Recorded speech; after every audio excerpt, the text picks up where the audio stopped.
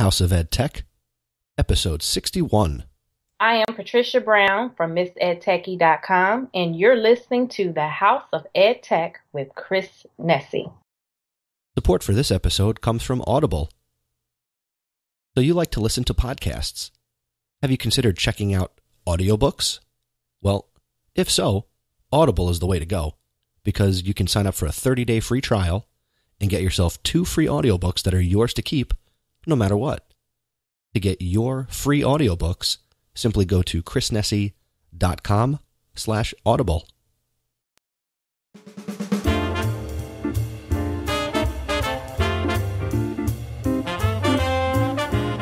Welcome to the House of Ed Tech podcast. I am your host, Christopher Nesi, and the House of Ed Tech explores how technology is changing the way teachers teach and the impact that technology is having in education. My objectives include discussing technology that is changing our classrooms and schools and sharing tools and tips that you can hear about today and use tomorrow. I talk to teachers, leaders, and creators just like you and have them share their stories. The purpose? Whether you use it or not, technology is changing the way we teach and how our students learn.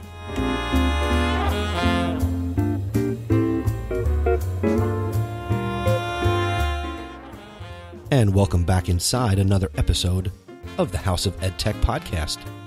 Good afternoon, good evening, good morning.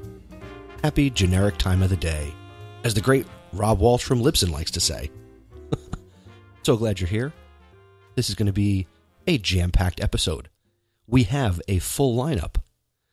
Got the EdTech thought, the EdTech recommendation, of course, the House of EdTech VIP, and my featured conversation for this episode with Miss Stephany Hesslein. But first, some feedback and a little news. So, for feedback, we uh, we can get right to the old House of EdTech answering machine. You have one new message. Hello, Lindsay James here. I'm a special education teacher from Edison, New Jersey. Uh, first of all, your podcast is amazing because every time I listen, I leave an easy takeaway that I can go right into my classroom and use. I wanted to call in to let you know how much I absolutely loved using Edpuzzle today. I tried it out for the first time. Uh, I use LearnZillion, Khan Academy, YouTube, and Vimeo often, and I absolutely loved the fact that I now have a central location to search for video content. This just made my life so much easier. I also love how easy it is to use. My history of sending a video for my students to just watch is probably now over. Now they can interact with the videos. If anything, at the very least, I can add a simple question to assess their knowledge of the topic before the video begins, and then revisit that same question at the end of the video to see just how much they've learned. I can also stop the video throughout and add multiple choice questions, open ended response questions, voice notes. I mean, there are so many options. It's taking a video and making it interactive. Right now, I'm actually prepping my next video for a few groups for tomorrow, and I'm easily able to differentiate the questions for each group. Thank you so much for the advice. I'm definitely going to tune in tomorrow for another EdTech takeaway. Have a great day. And you have a great day too, Lindsay. Thank you so much for sending in that audio feedback. First, Lindsay, you need to connect with Lindsay. She is on Twitter, of course, and her handle is LindzMJ. That's L I N D Z, the letter M, and the letter J. He sent that audio feedback in via Voxer, which is super easy to do. And yeah, Ed, Ed Puzzle is awesome. Uh, I know you're also checking out Versal. And Lindsay got those recommendations from our last episode, which was episode 60, where I spoke with Jennifer Gonzalez, the author of The Teacher's Guide to Tech. Haven't listened to that episode yet, or if you're new to the show, you want to go back and check out episode 60 and all the links that were shared and all the different resources can be found in the show notes for that episode, which is chrisnesi.com slash 60. And that's the number 60, 60, of course. And uh, Lindsay gets extra credit this week because not only did she send in some audio feedback about that show, but she also left an awesome and much appreciated iTunes review. And Lindsay said, quote, I listened to this podcast for specific takeaways that I can use in my classroom that day or the next day. Podcasts in general are sometimes stressful for me because there is a lot of busy talk and chit chat. I love how this podcast stays on topic, gets to the point, gets you information quick, and gives specific ideas. Love it. And I love the fact that you took the time to share that feedback and that review. And that means a lot to me, Lindsay. So thank you so much. And I'm going to get to meet Lindsay at EdTech NJ on June 4th, 2016. So I'm really looking forward to that. I'll be presenting there. And it's always nice to meet people who listen to the show. If you are also going to be at EdTech NJ on June 4th, uh, shoot me a tweet, shoot me an email. Let me know. I would love to meet and talk to you if I haven't done that. Also, want to say thank you to Jacob Dunn. He is at Jacob Dunn on Twitter, J A C O B D U N N. And this feedback comes in from Twitter, where Jacob let me know that he learned he learns many interesting ways to use tech in his classroom, and that I make it fun and to keep up the hard work. Thank you, Jacob. I will do my due diligence on the podcast for the, the rest of time. I, I'm committed to this thing. I've come this far. Why would I turn back now? And I'm certainly not going to quit. Uh, but thank you for your feedback, and uh, you were able to get that of me by using the hashtag House of Ed Tech. So thank you so much. Thank you to Sean Farnham at, and this is got to be the greatest Twitter handle ever at Magic Pants Jones, and that's exactly how it sounds, Magic Pants Jones. Sean let me know on Twitter that he enjoyed the conversation that I had also with Jennifer Gonzalez, and he connected with her via Twitter, and I was in a bunch of tweets that went back and forth between them. So thank you, Sean, for letting me know that you listen to the show and that you enjoy it. I had the privilege of meeting Sean. I believe I met him for the first time at ISTE last summer. So Sean's a good guy. Of course, you know, like a free. These are all like free House of Ed Tech recommend uh, VIPs. Uh, so you know, make sure you connect with Lindsay and Jacob, and also Sean. And just today, as I record this, the day before I release it, so I'm gonna I'm gonna speak in today rather than say yesterday. So uh, today on May 21st, I went to Tomorrow's Classrooms today, 2016, and I got to meet Angela Cleveland, who is uh, a new listener to the show. So I just wanted to give a shout out to Angela, and she is on Twitter. Her handle is at Angela Cleveland one, and that's A N G E L A C E L A N, the number one. So Cleveland without the D, but with a number one. And she's a school counselor and anti bullying specialist from New Jersey. And I was glad to meet her, and she came to my Let's Give Them Something to Blab About session. So it was great to meet you, Angela. And I look forward to seeing you at future conferences. And since you're here in New Jersey, going to be easy. So thanks for checking out the podcast, and I hope you stick around. Really appreciate it. Now, also, if anybody at any time ever has an EdTech question, or you just want to share some thoughts, again, use the use the hashtag House of Ed Tech, Vox me, Mr. Nesi, or you can call 732-903-4869. And I do want to also take a minute to thank my awesome supporters, Peggy George, Mark Grundell, Jeff Herb, and Dan Gallagher. They uh, they are patrons, and they became awesome supporters by going to chrisnesi.com slash awesome. And without their contributions, a lot of what I do wouldn't be as easy as it is. So thank you for your, your support, guys. And if you want to become an awesome supporter, just go to chrisnesi.com slash awesome to learn more. And now, here's my EdTech thought.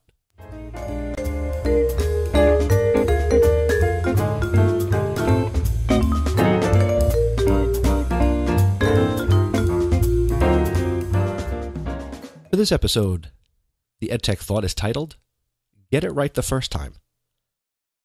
A lot of this comes from what just happened today at TCT, where I got to hear Will Richardson do the keynote address. I heard Will once before, back in 2007, as I was about to embark on basically my teaching career during my student teaching experience, and the district I student taught in brought Will in to be basically the opening day speaker for all the teachers in the district for all the schools.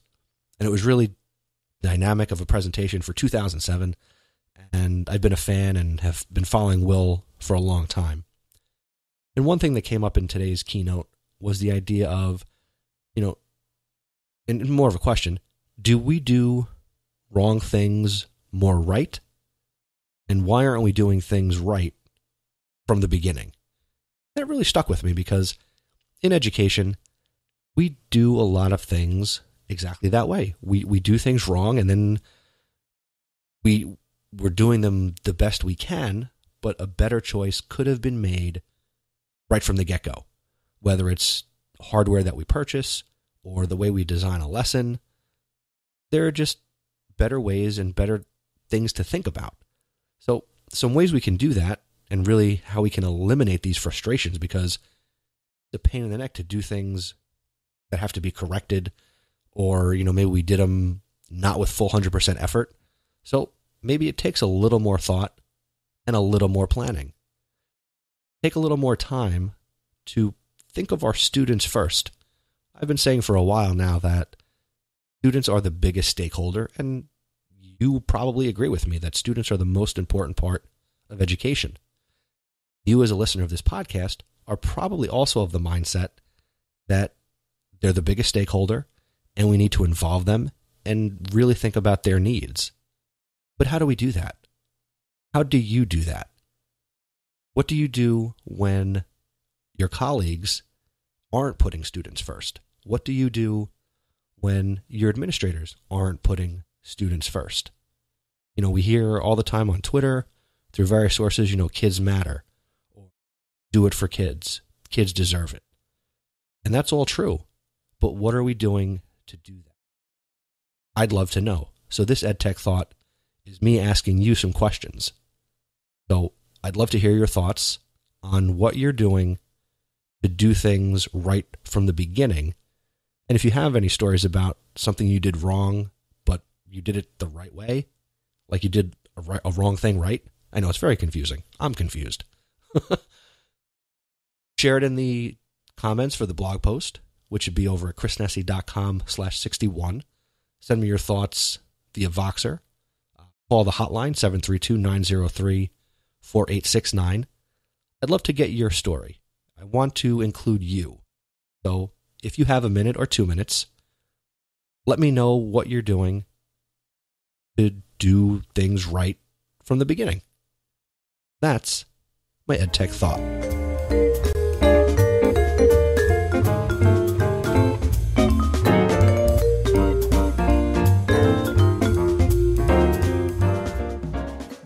And now for this episode's EdTech recommendation. Today I want to recommend to you MediaCore Capture. A lot of people are losing their minds about some screen capture tools that don't exist anymore, and they're upset that they can't do GIF files. And yes, it's a GIF like the peanut butter. Do the research. I did. The GIF. Go with GIF. If you disagree, let me know. I'd love to argue with you about it. but let's stay on track. So, MediaCore Capture. Uh, this comes from MediaCore Technologies, and this is a very simple Chrome extension that allows you to do screen captures and webcam recording. So you can easily create, save, and share screencasts. I just found this this week, and MediaCore Capture for Chrome is really powerful. Simple screen recording, simple screen capture that is compatible with your built in mic, your built in camera, or as I did it here on the uh, House of Ed Tech supercomputer with external cameras and also the fancy USB microphone. Uh, and it makes it really easy to create even higher quality screencasts and video recordings.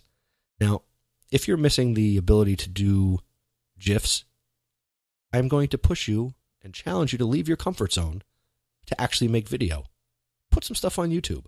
Put some stuff on Snapchat. Well, actually, this won't work. Snapchat so that makes me sound like an idiot. But put some stuff on YouTube. Let's go that route. Uh, MediaCore Capture is free to install.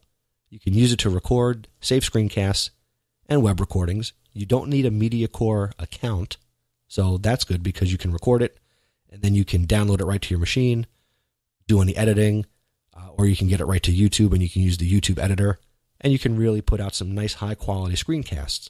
So you can record your screen, you could actually use it to even just capture video from webcam.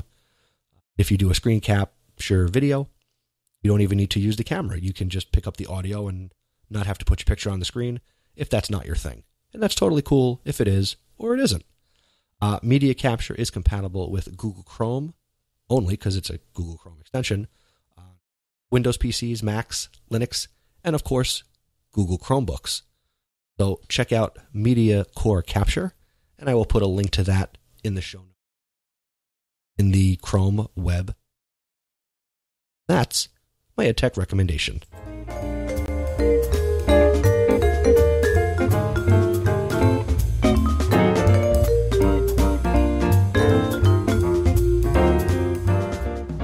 And now for this episode's featured content. I had the privilege and honor of speaking with Stephany Hesslein from Middletown Township Public Schools. And this is a great conversation. I won't waste any time. So let's get right to my conversation with Miss Stephany Hesslein.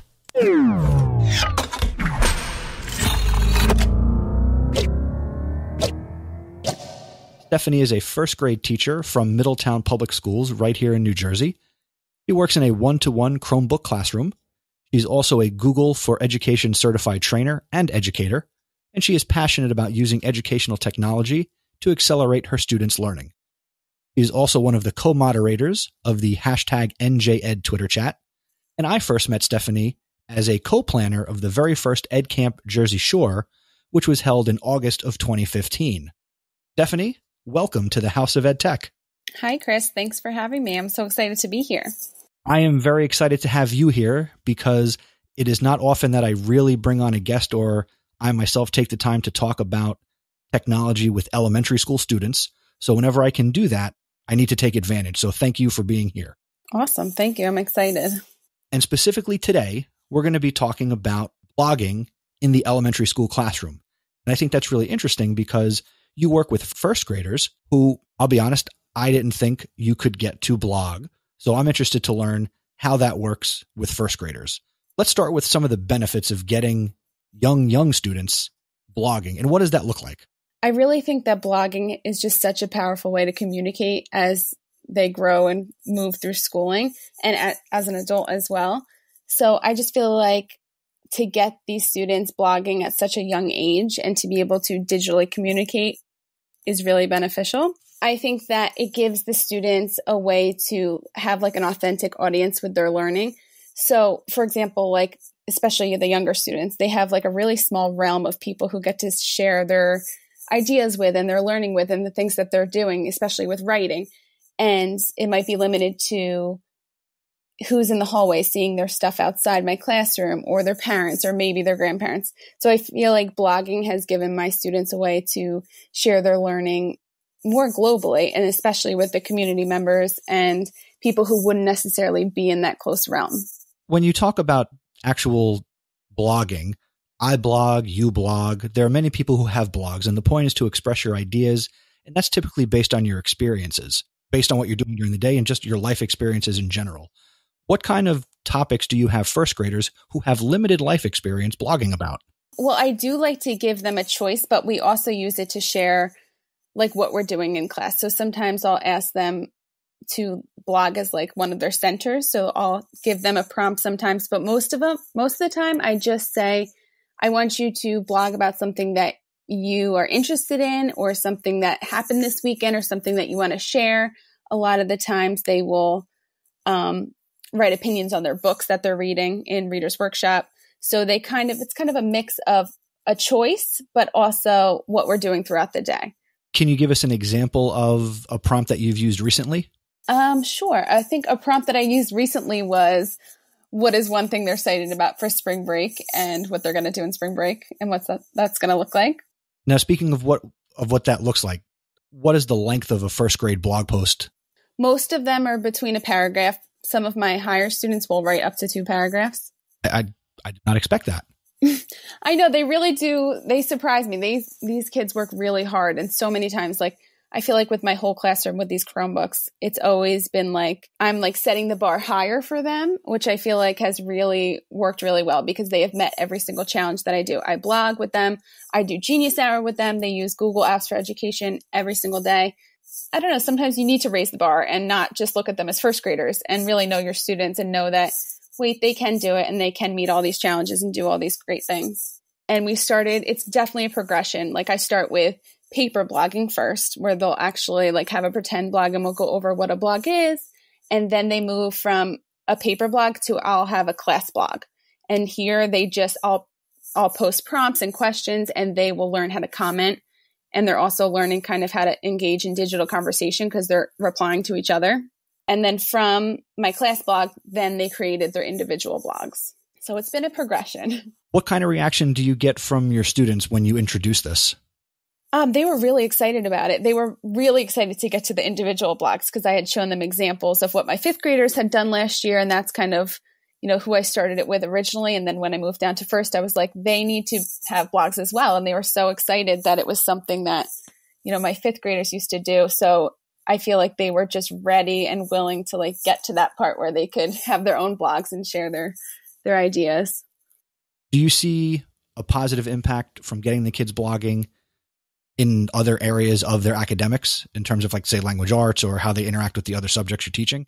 Um absolutely. I feel like writing especially they really have like develop like their own style because especially with blogging they'll a lot of the times I'll have them publish their writers workshop writing on the blog and they really make it their own. So I can tell like even their mindset they're trying to have this audience be engaged in their blog so they want to make it the best that they can like i said it's a very authentic audience but they also i blog with like seventh graders from another middle school in middletown bayshore and fourth graders in ocean avenue school which is another elementary school. And they they get these comments from all their other peers that are blogging with them. And they want to make their writing the best that they can because they want these comments. So it also drives them a little bit to kind of push themselves in their writing. So it's been really great that way.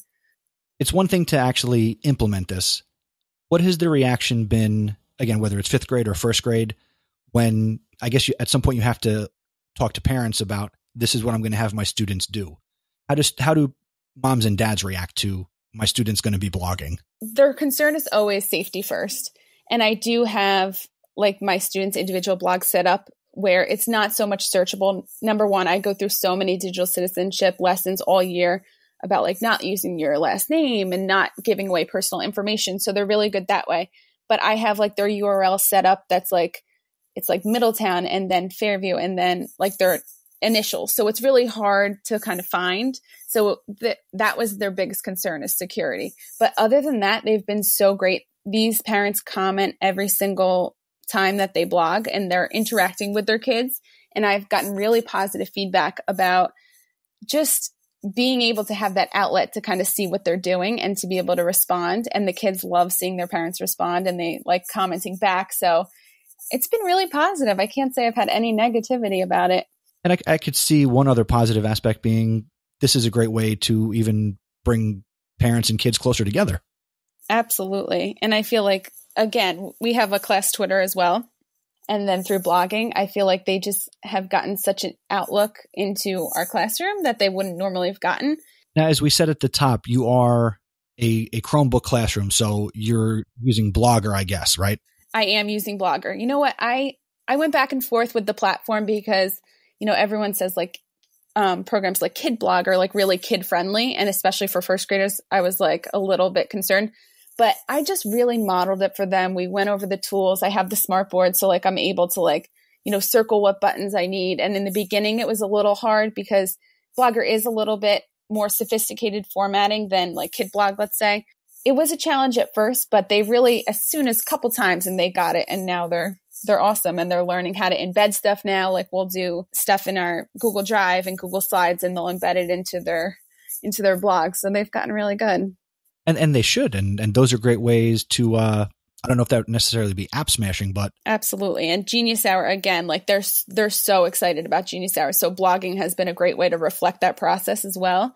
Like after they do their Genius Hour projects, they do like a uh, Genius Hour update, and they show pictures of what they're doing, and it kind of lets you see the process of that as well, like simultaneously. So that has been one of my favorite parts, as well as theirs. Before we dive into Genius Hour, what are some of the tips and best practices that you can share with with my listeners who want to get their students to start blogging? Um, the first thing, obviously, choose a platform that works for you. Blogger has been so great, but if you want to look at kind of your options and your grade level and you know your students and just be able to choose a platform first and start small. Like I said, it's a progression. It's not something that you want to like jump right into without any digital citizenship or any lessons on how to blog and how to comment appropriately. So start small. I really recommend starting with a class blog. It's just been such a great way to really get them to practice and understand what blogging is before they kind of go right into their own individual blogs.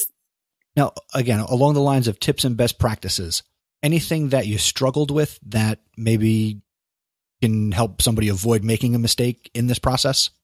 I struggled with the student choice, especially for like my younger students. At first, they were really like, What do you mean I can write about anything I want? Like, they were not used to that kind of thinking. They were used to, like, What do you want me to write about? so I feel like that was my hardest struggle. So I feel like it's okay. Like, once in a while, if you want to give them a topic or if you want to give them a prompt, like, let them get used to it first. And then the student choice part and what they want to blog about will naturally come. Well, I think that's going to be that's a big shift that's going to happen in our society with I mean with the course that uh that I taught at Rutgers this semester. I gave students at the college level a lot of leeway and a lot of choice to do what they wanted to do at certain points. Right. We're talking college age students struggling with wait, you're not telling me exactly what to do. I'm not sure what to do now. Absolutely. It's a it's a total different mind change and it especially for the younger kids, they're not used to it. Even adults aren't used to it. It's something that takes getting used to, but once they get it, it like comes so naturally. Once they're shifting and really thinking about, okay, I need to direct what I'm learning and I need to kind of think about what I want to learn about, what I want to say, what my thoughts and opinions are and go from there. Now, with first graders developing that, that plays right into Genius Hour let's dive in. What does Genius Hour look like in your classroom, and how does the blogging move your students into that process? Well, Genius Hour has been really awesome for my classroom. We call it Firsty Genius because we I call my first graders Firsties, especially on Twitter. Um, just a fun little name. Genius Hour is something that, again, I was a little bit kind of concerned with because they were first graders and I had done it with my fifth graders, but like being able to adapt that just kind of was a little bit of a jump, but I decided to go for it. And we started off like, what is your passion? We watched the Kid President video, which is such a great video for getting them kind of like pumped up. I explained what Genius Hour is in like kid friendly terms.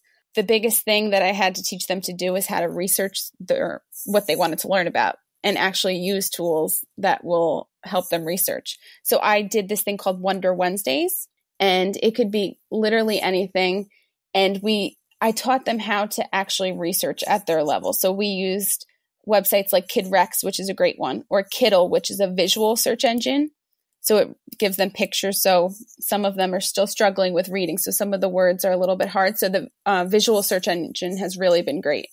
And just every Wednesday, we would practice researching and kind of being able to pull information from websites and make it their own. And that's where the blogging came in.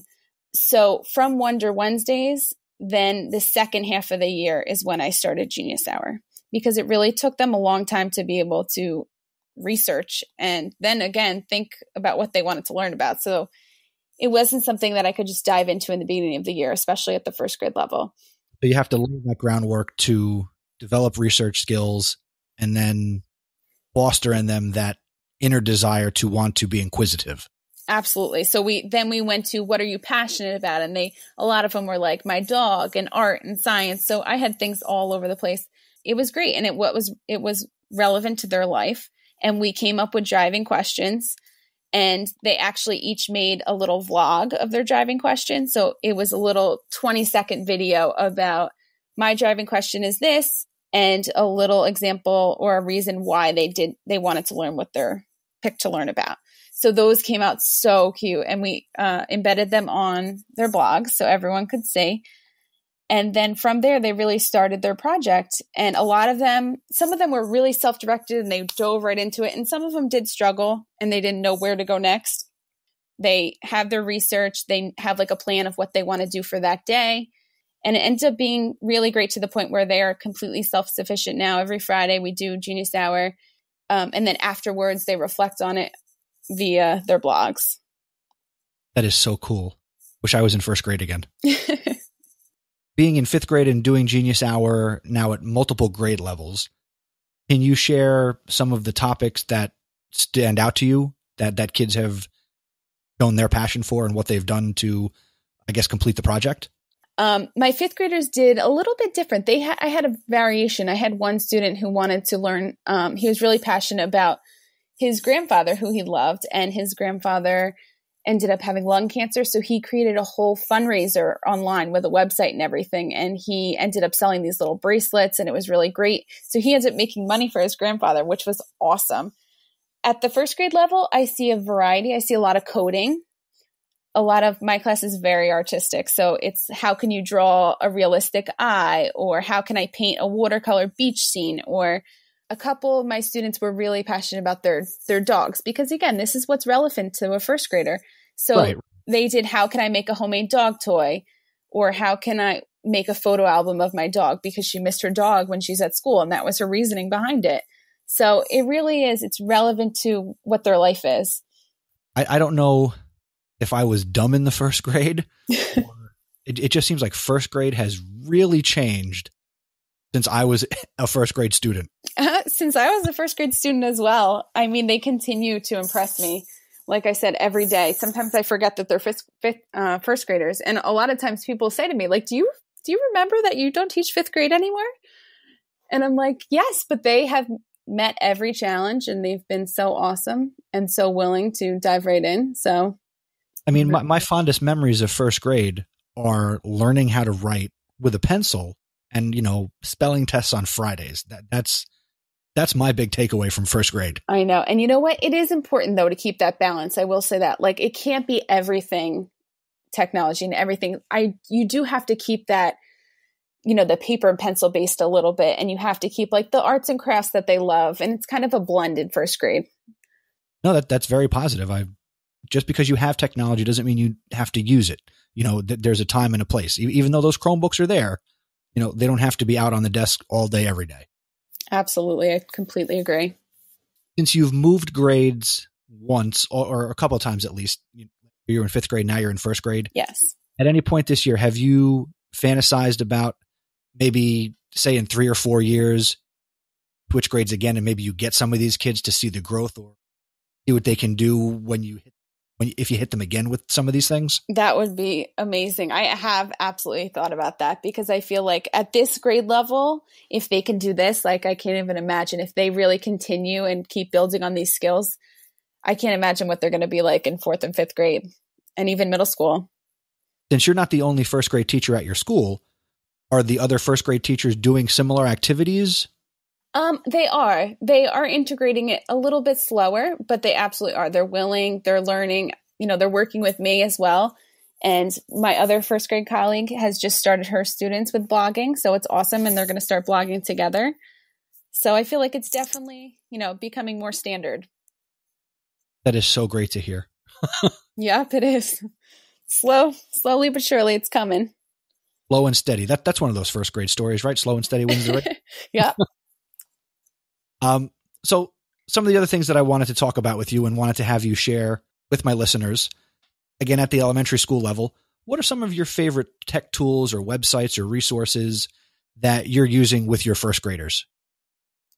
Um, well, like I said before, first and foremost, Google Apps for Education really has like been so instrumental in first grade because first graders just getting them to go somewhere, like direct them where you want to go, is like a challenge. So Google Classroom is like so important. Everything is routed through Google Classroom. So that's something that really has affected, you know, first graders, especially with the Chromebooks. It's made my classroom so much more efficient. Um, other apps that I like, my students really like Clipchamp. I talk about this all the time on Twitter. It's really great. It's for Chromebooks and it's a it's a super super easy. You don't even need a sign on. And it's to video yourself in Chrome on your Chromebooks. And it's free and it's awesome. And I recommend it to anyone who wants to make little videos. I think there might be a cap on it. I want to say five or 10 minutes, but you can get a lot done in that time. Now, mentioning a tool like that, what are you having your students do with a video clip capture tool? Um, I use it a lot in Reader's Workshop, actually. So they'll make little book reviews. Um, they'll record themselves doing a book review, or I'll use it to practice their fluency. So they'll read the they'll they'll read the pages that they're supposed to be reading, and they'll start reading it with feeling, and then they get to watch it back to see kind of how they did, and try and like read it even better the next time. I'll also I'll have them record their book clubs that they're in. So I just use it, you know, just to record whatever learning or to be able to express a, in a different medium what they're thinking about or learning about. Very cool. All right, what else is in your bag of tricks, Miss Hesslein? Um, let's see. Um, Teach Your Monster to Read has been one of my favorite websites. My kids absolutely love it. They beg me to play it even at recess. It's a really great for primary grades, especially. Um, it's kind of a really nice website that has kind of turned phonics and word recognition into like a really fun game with different levels. And they absolutely love it. So that's one of my favorites that I use in class. In full disclosure, the, the other hidden reason, well, not hidden now because I'm going to say it out loud, that I want you to share these is because I've got a four year old. So I'm looking to get him ahead for his second year of pre K. But this, I, I have feverish notes and I'll be using a lot of these. Well, we'll use all these tools with Miles. That's funny. Another one is VideoFX Live, which I use another recording. That's really for the iPads. Um, but it's really easy for them to use and they love it. They can do different filters on it. Um, it kind of is in place of like iMovie for the older kids. So okay. it's free as well if you get the live version, but you can do everything that you need to do in the free version. Like that. Yeah, absolutely. And ABCya and Dreambox, they're great for just having your students build on those reading and writing skills and math skills as well.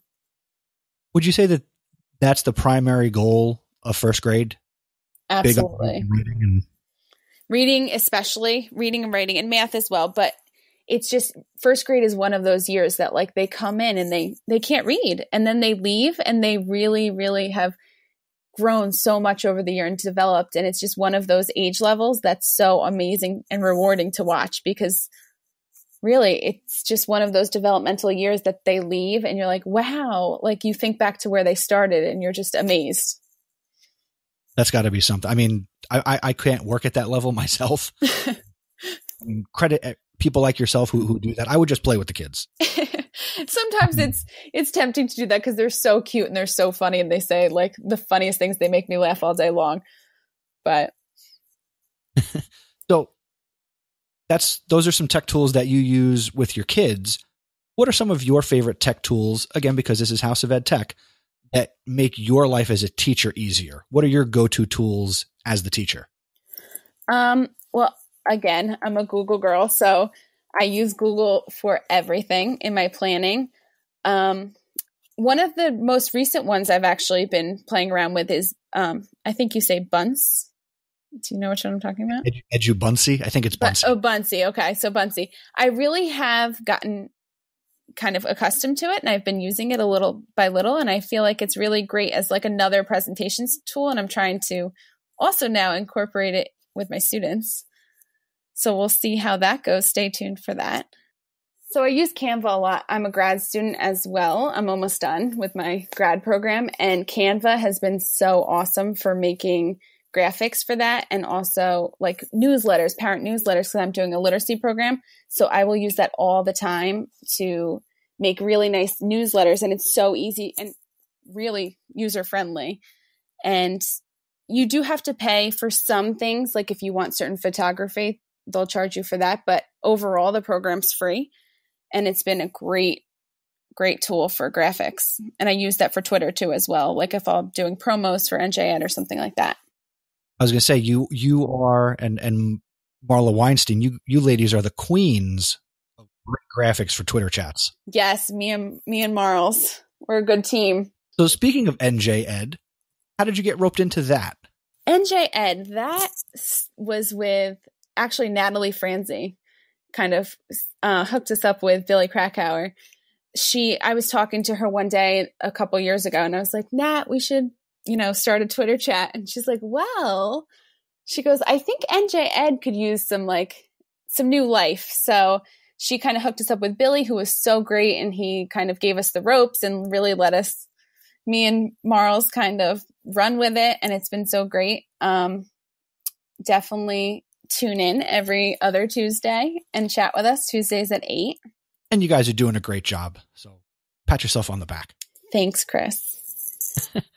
now, coming up relatively quickly, I think it'll be just days from as this is being released. You are going to be at the Garden State Summit during Google for Education, which is going to be at Georgian Court University. What are you going to be doing, presenting? What are you going to be doing there? It is going to be a great. It's featuring Google for Education. I'm going to be there talking about blogging. Actually, I'm my, the name of my presentation is "Can you blog like a first grader?" Definitely come check it out if you want to hear more and learn more about how to integrate blogging into the classroom.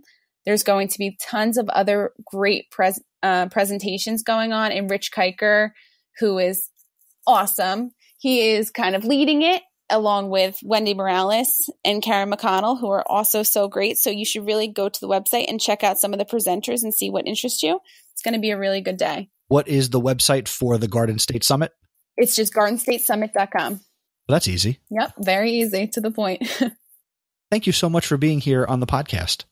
Chris, thank you so much for having me. This has been like my first real podcast experience, and I'm so glad that it was with the House of Ed Tech. Now, before I actually let you go, how can my listeners connect with you to learn more about blogging, Genius Hour? What are the best ways to get to you? Well, Twitter absolutely is the best way. Um, at Miss Hesslein is my handle, as well as Google Plus, which is plus Stephany Hesslein. Either one of those, please connect with me, and I would be happy to help you and answer questions and chat with you. And I will, uh, I, I will plug your blog for you, which is for the love of edu dot blogspot.com. Is that still accurate? Absolutely. And that also routes any of your listeners to like my class blog and my students blog as well. So they can check that out for additional resources and examples. Very cool. Stephany Hesslein is her name. Again, first grade teacher, Google Chrome super user, has her kids and community doing some amazing things with blogging and Genius Hour. Please connect with her. She's at Miss Hesslein. Check out her blog. Stephany, thank you for being here. Thank you so much, Chris.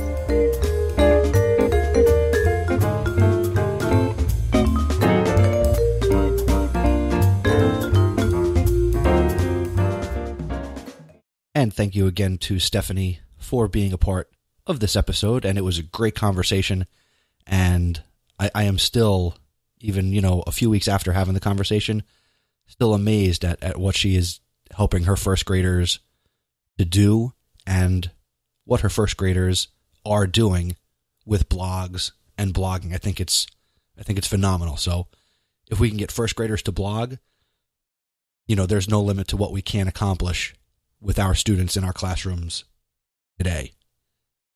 Now, let's meet this episode's House of Ed Tech VIP.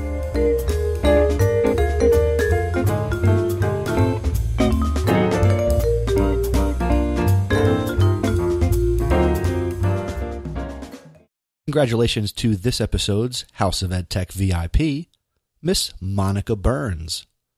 Monica Burns is an ed tech and curriculum consultant, Apple Distinguished Educator, and founder of ClassTechTips.com. In her role as a classroom teacher, she used iPads in a one to one setting with her students to create engaging, differentiated learning experiences. Monica has presented to teachers, administrators, and tech enthusiasts at numerous national and international conferences, including South by Southwest EDU, ISTE, and EduTech. She's a webinar host for Simple K 12 and a regular contributor to Edutopia and Channel One News. Monica is also the author of Deeper Learning with QR Codes and Augmented Reality, a scannable solution for your classroom. And that's from Corwin Press. Monica visits schools across the country to work with pre K through 12th grade teachers to make technology integration an exciting and accessible experience. He also provides support to organizations using technology to reach children and families in need. If you're not connected with Monica, well, now's your chance. She's on Twitter. She is at Class Tech Tips, And be sure to check out Monica's website, classtechtips.com. Congratulations, Monica. You are a House of Ed Tech VIP.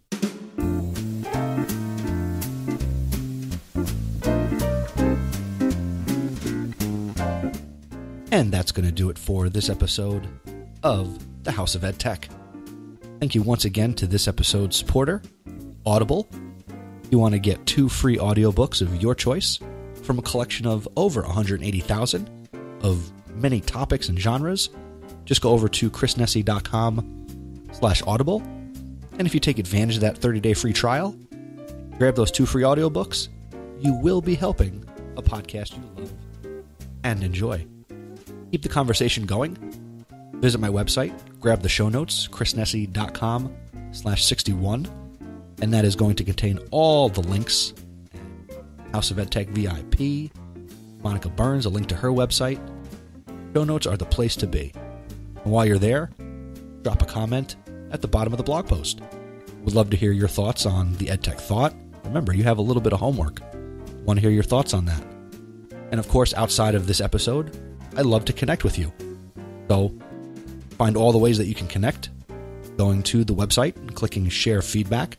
That's going to give you my email and all the different ways to connect with me.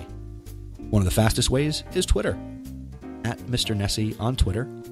And you can just use the hashtag House of Ed Tech, tweets related to the show, connect with you there. I'm actually building a nice Twitter list of listeners to the show. So on Twitter, let me know that you listen to the podcast, and I'll add you to this list, and then I can keep up with what you're doing. You're taking the time to listen to me. I would love to connect and learn more from you specifically. Now, if you enjoy the podcast, and of course you do, you've gotten this far, and you've listened to hopefully all 61 episodes now. If not, you can always go back. It's cool, it's timeless. Uh, help me out. Here are three things you can do. Number one, tell somebody about the podcast. Word of mouth is the best way and the fastest way for you to share really any podcast you enjoy. So if it's this one or another podcast, tell somebody else about shows that you listen to. And if you want to tell somebody about mine, thank you in advance. Number two, go ahead and rate and review the podcast on iTunes. Your honest rating and positive review is going to help keep the podcast front and center for others to discover and enjoy. And you too can show your support through patreon.com. If you want to become an awesome supporter of the show, just go to chrisnesi.com slash awesome. On the next episode of the House of EdTech, I'm going to be recording it live at EdTech NJ in Edison, New Jersey on June 4th. Episode 62 is going to be released on June 5th, 2016. Until next time, thanks for joining, and remember, using technology isn't difficult, just give it a try.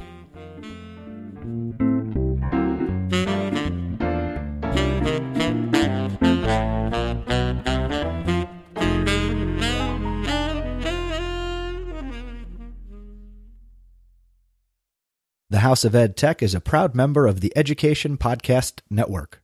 The Education Podcast Network. Podcasts for educators, podcasts by educators. For more, go to edupodcastnetwork.com dot com.